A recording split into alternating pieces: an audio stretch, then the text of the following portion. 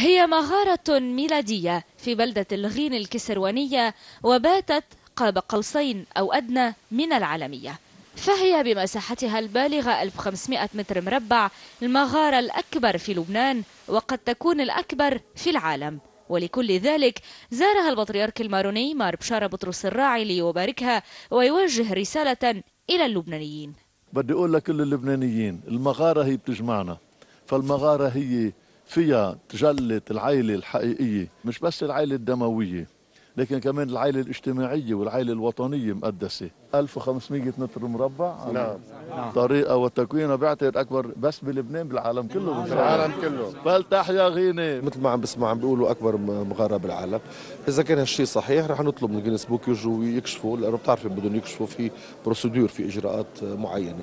بس Guinness or no Guinness يعني آخرة النهار محاولة كثير حلوة فيها إبداع. شغلت بمده قصيرة جدا سبع أسابيع.